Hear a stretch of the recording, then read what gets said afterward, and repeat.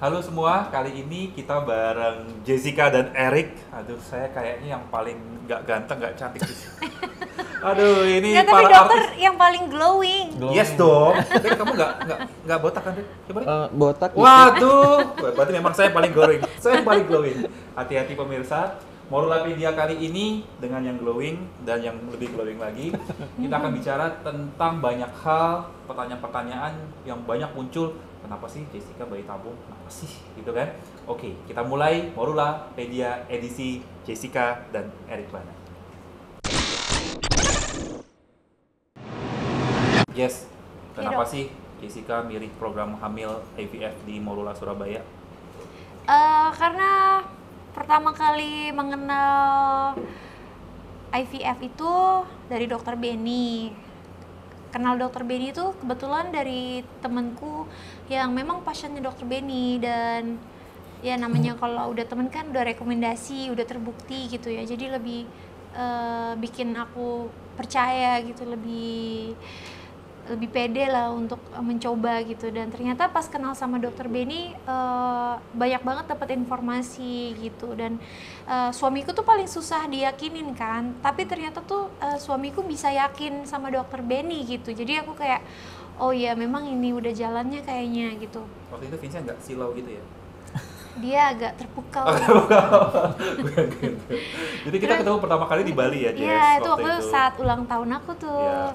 Terus ketemu dokter, terus udah gitu suamiku kok yang kayak lebih lebih excited gitu. Jadi aku kayak oh ya udah kalau gitu aku jadi ikut excited gitu. Eh, tapi sebelum memutuskan IVF juga kita udah udah beberapa kali coba untuk natural juga kan.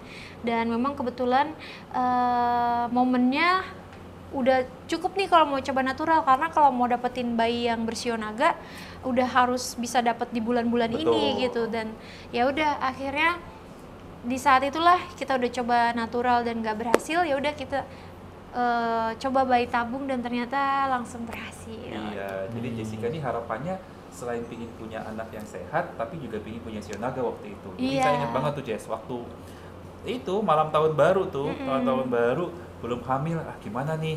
Akhirnya kita Iya. vaksin IVF. Ingat nggak dulu waktu di Bali kita Morulapedia, kamu pingin punya lima anak? iya masih nah, ingat gimana rencanamu sekarang nih? Iya agak agak sedikit goyah ya. Eh, karena gimana ya? eh, mungkin eh, kalau lagi hamilnya enak-enak aja sih, oh pengen punya anak banyak gitu. Cuma yang namanya ibu hamil sekarang lagi momen-momen di hamil di mana nih lagi ngidamnya tinggi, mualnya tinggi, terus kayak pusingnya lumayan banget. Jadi kayak oke satu-satu dulu ya. Kemarin juga suamiku Vincent nanya kayak jadi abis ini kita abis lahiran langsung tanam embrio lagi kan gitu. Ditantang nih kamu Nah, nih. ah, terus aku Aduh. bilang sebentar sayang, biarin aku ini jalanin hamil ini dulu sampai lahiran, sampai aku agak lupa. Baru nanya lagi. Baru tanya lagi. Jangan nanya sekarang Jangan nanya soalnya sekarang. jawabannya pasti enggak. Iya soalnya hamil yang kali ini soalnya aku memang agak mager, jadi kayak Iya. ngantuk terus gitu. Nah, kalau selama proses kita nih, waktu Jessica kita kan bayi tabung di Surabaya kan. Mm-mm. Dulu Jessica di Bali, kemudian kita bayi tabungnya, waktu itu Jessica pindah ke Jakarta, kemudian kita IVF-nya di Morula Surabaya. Nah, eh, beberapa kali Jessica datang ke Surabaya melalui proses mulai dari awal sampai selesai. Kira-kira tantangan terbesar yang Jessica hadapi apa? eh tantangan terbesar ya karena aku ngejalaninnya kayak enjoy sih dok jadi kayak nggak ada yang eh, gimana-gimana banget gitu.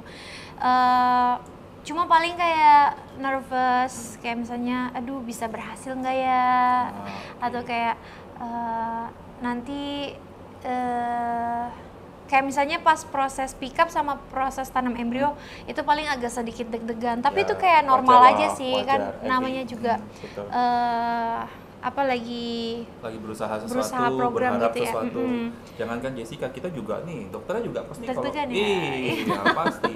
Karena apa? Karena Iya. itu adalah proses yang cukup panjang ya. Kita dari awal sampai selesai, pasti kita punya harapan tinggi. Jadi em, wajar untuk semua ibu hamil, ibu yang ingin hamil ya, para pejuang buah hati ketika mereka IVF itu proses-proses OPU, proses embryo transfer, proses pengumuman tuh pasti deg-degan.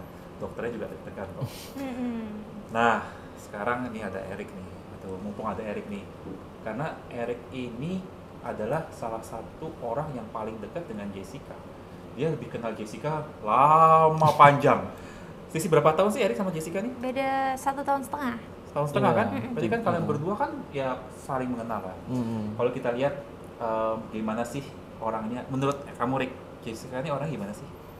Eh, orangnya kalau yang dia mau ya dia mesti dapetin.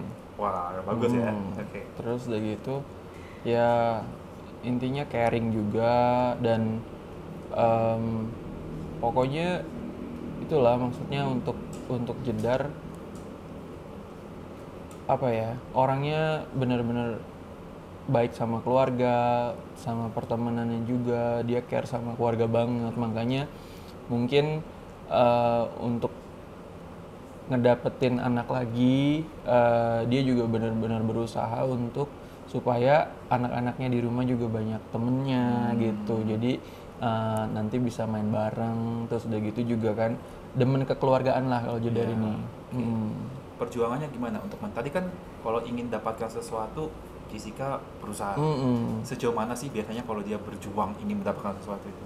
Eh, sejak kecil ya dia dia kejar cita-cita yang dia mau dan eh, dia jalanin komit dengan apa yang dia eh, apa ya pengen achieve gitu. Jadi eh, karena kan kalau cuma wish wish aja kan Ya, gimana ya kalau nggak diusahain gitu. Kayak buktinya saat ini eh, dia sampai mengandung pun itu kan karena dia berusaha Hmm. gitu. Dan itu mungkin eh, maksudnya juga exper apa ya kayak experience dia sebagai ibu ini dia berusaha banget untuk eh, mengandung untuk punya anak dan dia komit Komit. Eh, eh, dan akhirnya kalau konsisten pasti kan akan dapat hasil gitu kan dan Komitmen, good, konsisten, perjuangan Iya. luar biasa. Nah sekarang ini pas lagi Vincent nggak ada. Iya. Tapi kalau saya ingin tahu selama ini kan Vincent juga udah sering ya kita ngobrol-ngobrol. Iya. Kalau Jessica rasakan gimana sih eh, dukungan Vincent dan juga Eric yang selama ini kan dua pria yang paling dekat dengan hidupmu adalah Eric dan Vincent, betul nggak? Mm, iya betul. Betul ya.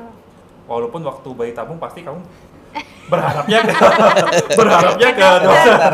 Tapi sekarang sekarang yang menjadi yang paling dekat dirimu, Mm-mm. em, seberapa penting dukungan Vincent dan Eric menurut Jessica? Kalau buat aku sih sebagai seorang perempuan ya mendapat banyak dukungan itu pastinya eh, berarti. Karena kan namanya perempuan itu kan lebih main ke perasaan. Jadi ke rasa-rasa di mana banyak yang support. Itu kayak segala sesuatunya tuh kan terasa lebih ringan lebih mudah gitu. Salah satunya ya support dari Erik Eh, Erik yang eh, kemarin sempet kayak ya udahlah kalau misalnya memang jalannya udah bayi tabung coba aja bayi tabung gitu. Erik yang bilang ke Vincent. Soalnya eh, maksudnya untuk untuk posisinya sih memang jujur-jujuran aja ya dok ya. Tadinya juga sebenarnya kan eh, saya ada kayak concern sama jedar Hmm. untuk melakukan bayi tabung karena kan memang ada yang namanya ovum pickup itu. Iya, itu betul. kan it's it's quite dangerous ya. Soalnya ada dengar-dengar cerita katanya ada yang apalah ketusuk lah nah, itu apalah. dia. Jadi benar, jadi benar. Nah ini mumpung nih ya, ovum pickup itu memang em, kalau kita lihat eh, videonya kan agak menyeramkan karena jarumnya kan panjang. Tapi eh, resiko, nah ini supaya Erik juga Hmm. tahu, bahwa betul ada kejadian-kejadian yang memang extraordinary. Tapi eh, angka kejadian em, resiko pada ovum pickup itu beratus kali lipat lebih kecil daripada persalinan normal misalnya. Hmm. Jadi kalau kita tahu orang bersalin normal, Hmm. itu angka kejadian uh, resiko Hmm. dia bermasalah Hmm. itu jauh lebih besar. Oke. Jadi ya puji Tuhan, alhamdulillah juga pada saat uh, proses Jessica ya tidak tidak tidak terjadi apa-apa. Hmm. Nah, yang penting adalah kita benar-benar melakukan semuanya itu sesuai protokol, sesuai panduan yang bagus. Ya. Dan memang em, kalau kita nonton di YouTube Jessica ya, habis opu langsung jalan langsung selesai. Hmm. It's a very small needle, long needle, tapi em, dan dibius nggak Hmm. sakit, iya ya.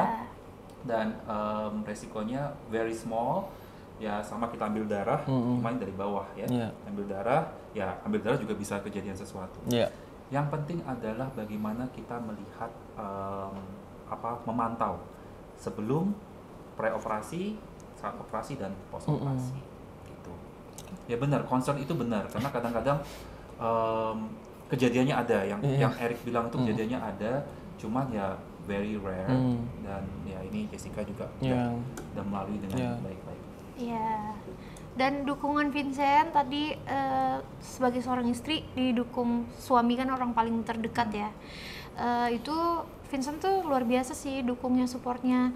Sampai hari ini mungkin baru hari ini dia absen. oh iya betul Mm-mm. Dari bahkan awal kadang-kadang dia datang dua Iya. dia duluan datang daripada Jessica Iya dari awal dia selalu eh, temenin, selalu support, nggak hanya saat pemeriksaan tapi di rumah juga saat harus suntik, harus harus apa makan segala macam, saat tidur bahkan sekarang ketika aku request buat pisah ranjang dia juga Aduh, dengan berat hati biasa. mengiyakan Luar gitu. biasa.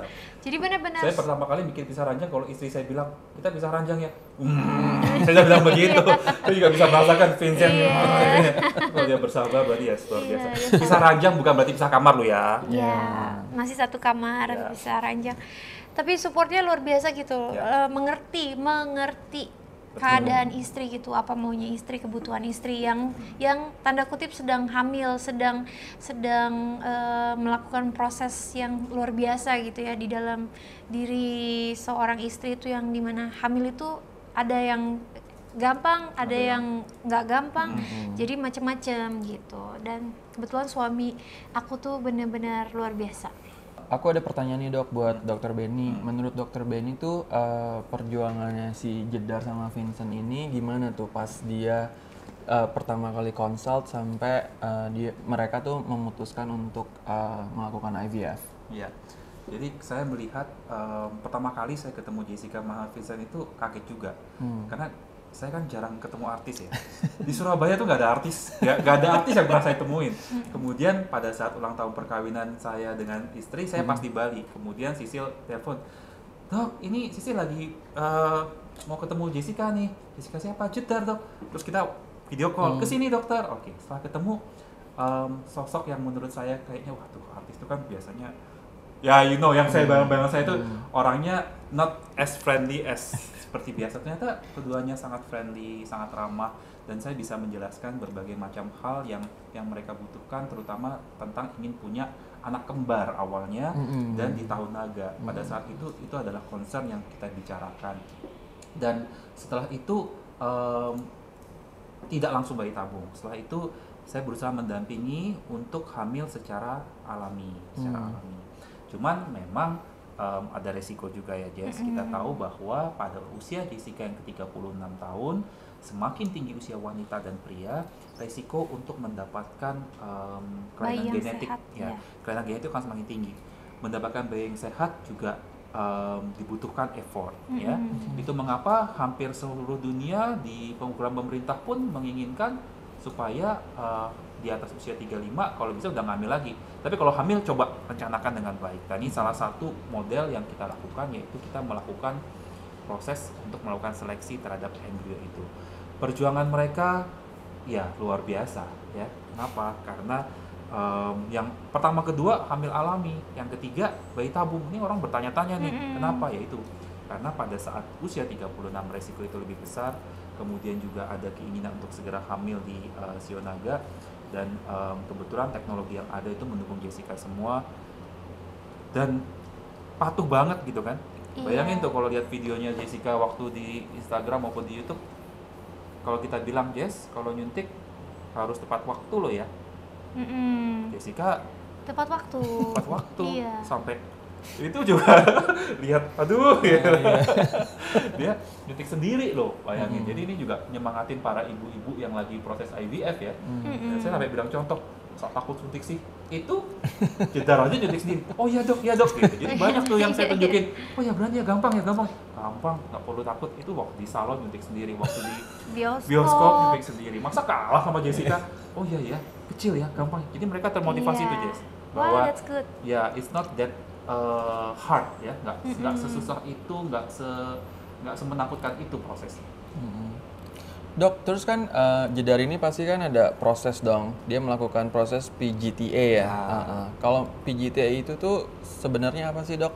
Nah, Prosesnya gimana? Mm-mm, prosesnya gimana dan sekompleks apa? Betul. Jadi uh, itulah salah satu fokus kita ketika Jessica melakukan bayi tabung, yaitu kita mau menyeleksi embrio yang ditanam ini secara genetik cacat apa tidak. Mm-mm.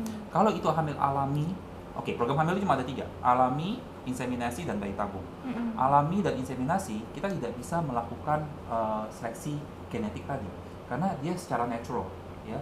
Yang mana sperma yang menurut natural nature terbaik Hmm. telur terbaik jadi ya kadang-kadang jadi Bayern syndrome, kadang-kadang baik, kadang-kadang Hmm. dari ovum dan sebagainya. Hmm. Nah, kalau pada proses bayi tabung yang PGTA itu eh, kita akan ambil embrio itu beberapa selnya, kita cek dulu. Mm-mm. Jadi sejak dari awal udah ketahuan nih, ini eh, secara genetik sehat apa tidak. Dan akurasinya 98 to 99%. Tidak 100%, Hmm. ya. Yang nggak ada yang 100% gitu. Iya, iya, Tapi iya, iya. that's very accurate Iya. sehingga itu uh, menjadi salah satu uh, pilihan supaya kita lebih lega Mm-mm. ketika kita menanam Hmm. pada mereka yang usia di atas 35. Iya. Dokter selain opjin nih, terus udah gitu kesibukan dokter tuh apa aja sih? Boleh sharing nggak? Terus hobi-hobinya tuh ngapain sih kalau dokter-dokter? Paling opjin? suka itu saya nonton film sama jalan-jalan. Oh, Hmm. Hmm, jadi besok nih kita mau cuti jalan-jalan ini sudah ngajak Jess. Kan saya udah DM Jess, ayo Iya. jalan-jalan ikut nggak? Gitu. Saya hobinya traveling dan saya suka uh, nonton film. Jadi um, ya itu sih paling sering itu. Dan kalau kegiatannya apa aja, kayaknya hampir nggak ada kegiatan selain Dok, tapi dokter tuh awal-awal kenapa sih dok memutuskan untuk jadi dokter obgyn? Padahal kan banyak eh, bidang dokter yang Yes. lain gitu. betul. Apakah dokter fokusnya apa sih gitu? ada ada jadi em, waktu saya koas dulu dokter Hmm. muda itu kan kita stase ya di berbagai macam tempat ya ada Hmm. dokter di bagian anak bagian kandungan Hmm. bagian eh, bedah dan sebagainya Mm-mm. Em, ketika saya stase di bagian objin saya bisa melihat bahwa sebagian besar yang ditanganin itu adalah orang yang dalam keadaan tidak sakit Mm-mm. jadi ibu hamil itu kan nggak sakit Iya. tapi ada juga yang sakit sedikit. Mm. Yang kedua, saya bisa melihat langsung betapa luar biasanya proses persalinan Hmm. dan melahirkan dan memegang sendiri kehidupan pertama kali, Mm-mm. ya. Jadi itu walaupun tengah malam saya sesar jam 1 tadi pagi sebelum ke sini itu rasanya capeknya itu hilang gitu. Mm-mm. Weh, aduh lega. This is another life yang hadir di Hmm. dunia dan biasanya yang megang ya dokter kandungan atau dokter Iya. gitu. itu itu yang memotivasi saya sehingga em, saya rasa walaupun dengan tengah kesibukan tidur kurang praktek dan sebagainya Mm-mm. rasa itu tiba-tiba sirna ketika kita melihat eh, apa namanya Kebahagiaan ya. kebahagiaan itu Hmm, luar biasa dokter. sama sama-sama coba nanti kan yang ngelahirin anakmu yang megang down sama L bukan dirimu kan Iya. Ya, Dok, bener kan dulu. betul betul betul Dok, kalau menurut dokter nih, arti dokter menurut dokter Benny sendiri itu apa? So seharusnya kalau saya merasakan ya dokter Mm-mm. itu sebagai teman ya saya berusaha merasakan bahwa dokter tidak sebagai orang yang selalu serba tahu dan Hmm. harus memberikan perintah kepada pasien. Now dokter and patient should be equal. Kenapa? Karena dokter pun akan banyak tahu informasi kalau pasiennya merasa lega dan terbuka untuk memberitahukan. Hmm. Tapi kalau pasien sudah takut duluan, ntar dimarahin.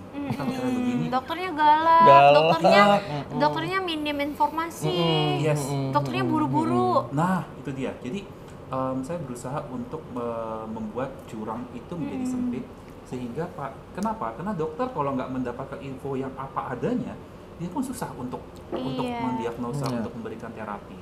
Dan em, saya merasa bahwa sudah waktunya ya orang-orang Indonesia ini em, mulai melihat dokter itu juga sebagai eh, dokter Indonesia ini Hmm. adalah dokter-dokter yang juga not only because pekerjaannya, Mm-mm. tapi juga something that they have the apa namanya uh, istilahnya apa ya pengabdiannya gitu ya Humanity. humanity-nya Hmm. ya jadi um, itu juga menjadi uh, motivasi dulu ayah saya juga dokter ayah saya dokter umum ya dokter umum di wilayah terpencil kemudian dia uh, berpikir berbilang bahwa ya to be a doctor jangan berharap nanti gara-gara kamu ngobatin kamu dibayar Mm-mm. because it's not a transactional thing tapi um, dengan kamu berbuat sesuatu untuk orang lain ya sharing untuk orang Hmm. lain yakin deh pasti yang maha kuasa itu akan baik Hmm. Karma ya. Iya. Jess Hmm. apa kejadian yang tak terlupakan selama di Morula Surabaya Eh, proses-prosesnya dok. Ya. Jadi kayak proses ketika pick up. Hmm. Tapi yang paling spesial mungkin yang pas transfer embrio ya. Iya. Itu eh, momennya kayak momen sakral sih menurut Iya. aku karena eh, di mana eh, Everything start. Iya, se- Hmm. kehamilan journey ini benar-benar dimulai gitu, benar-benar eh, menunggu kabar, deg-degan gitu. Tapi yang surprisingly sih aku kagum banget sih sama eh, apa tuh namanya teknologi yang ada di Morula. Indonesia di Morula. Iya. Kalau eh, ternyata labnya tuh udah secanggih itu, terus eh, embrio-embrio aku masih, Masih ada. di freezing ya masih di sana. Surabaya. Jadi ngelihat eh, teknologinya itu kayak wah keren banget gitu, amazing gitu. Kayak aku kan juga udah pernah kan dok melakukan operasi di Korea ya. nah, Nah itu kayak eh, sistem-sistemnya teknologinya tuh mirip Mhm. gitu. Jadi wah ternyata ada alat ini juga, Hmm. ternyata ada alat ini juga gitu. Jadi kayak wah ternyata eh, Indonesia nggak kalah Lengkap ya. nah, nggak kalah ini ya sama eh, di luar negeri gitu. Jadi kayak amazed banget. Jess, em, kira-kira kita kan sudah melalui nih mulai Hmm. dari awal sampai akhir.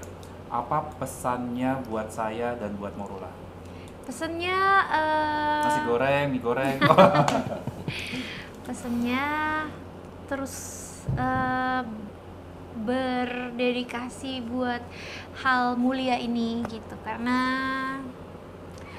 memiliki buah hati tuh kadang-kadang merupakan sesuatu yang eh, krusial buat sebuah keluarga gitu. Jadi buat sepasang suami istri yang pengen punya keturunan tuh eh, ini adalah kayak miracle place untuk mewujudkan eh, mimpi-mimpi para pasangan tersebut kan. Jadi teruslah berdedikasi terus memberikan hal-hal yang baik terus memberikan servis yang luar biasa Eh, semoga bisa terus berkembang terus mengikuti eh, perkembangan teknologi. Jadi kita bisa terus Indonesia bisa bisa bangkit eh, membangkitkan eh, hospitality-nya gitu terutama di bidang eh, bayi tabung gitu. Jadi eh, dengan adanya kehamilan ini mungkin bisa menjadi contoh bahwa eh, luar biasa banget ada Morula di Indonesia yang bisa menandingi servis-servis di luar negeri jadi eh, nggak perlu jauh-jauh Mm-mm.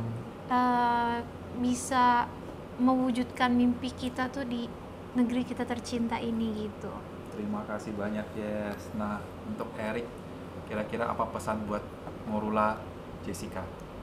Dan Jessica. Eh, buat aku sih ya istilahnya aku banyak banget denger cerita-cerita successful story dari temen-temen dari eh, beberapa kerabat yang memang eh, Morula at the moment is one of the best eh, the, the best the best for apa IVF ya dok ya. Dan eh, aku juga maksudnya selalu seneng ngedenger kalau misalkan orang yang lagi berjuang untuk mendapatkan garis dua ini tuh eh gue hamil. Itu tuh kayak perasaannya tuh dari seneng sampai nangis sampai dia cerita maksudnya perjuangan selama bertahun-tahun untuk itu. Jadi itu sangat-sangat menyentuh lah intinya kalau eh, hal-hal itu gitu. Dan eh, seneng juga aku ketemu sama dokter Benny yang which is udah banyak dapat maksudnya udah banyak dapat eh, cerita-cerita dari orang-orang yang berhasil melakukan IVF itu. Jadi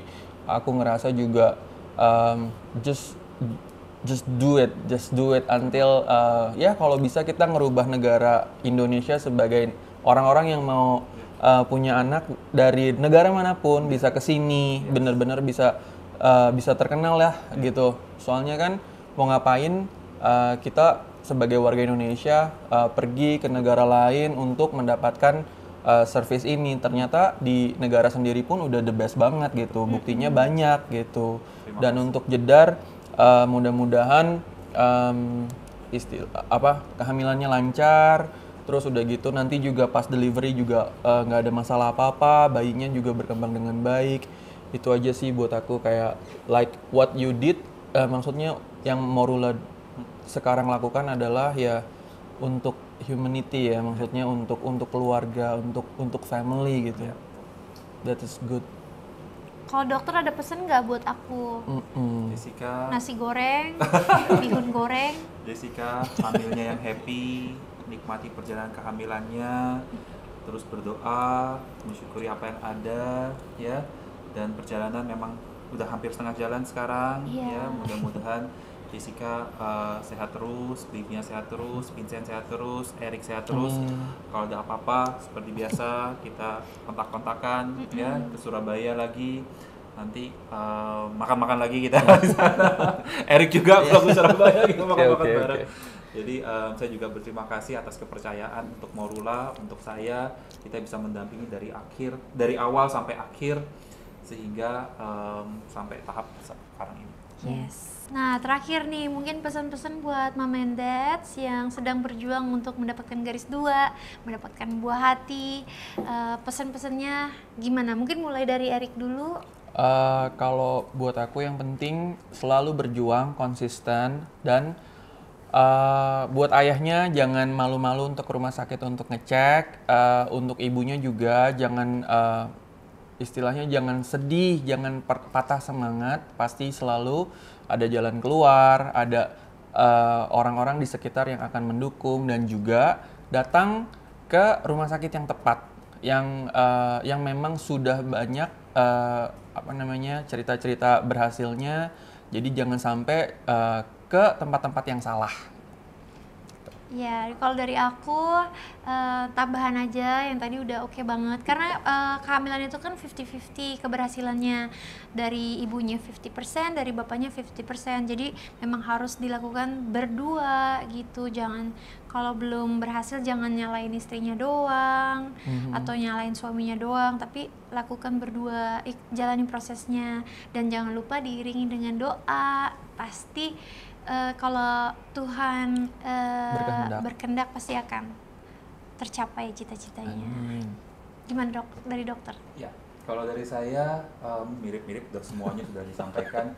Saya ingin memberikan pesan kepada semua pejuang buah hati, em, jangan putus asa, jangan berhenti berharap, teruslah berusaha, sertai dengan doa, dan usahakan atas segala sesuatu yang kita dapatkan sekecil apa pun itu kita syukuri karena kita tahu bahwa yang maha kuasa akan memberikan berkahnya kepada mereka yang terus berusaha dan berdoa untuk mengusahakan yang terbaik mengusahakan sesuatu yang baik jadi jangan berhenti untuk berdoa berusaha dan selalu bersyukur Amin. Amin. Oke, terima kasih banyak Jessica dan Eric. Luar biasa hari ini dan em, kita akhiri Morulapedia. Mudah-mudahan apa yang kita dapatkan ini kita bisa serahkan kepada masyarakat, masyarakat para netizen dan semuanya bisa melihat apa yang sudah sharing di-sharingkan oleh Eric dan Jessica semua. Amin. Thank you. Terima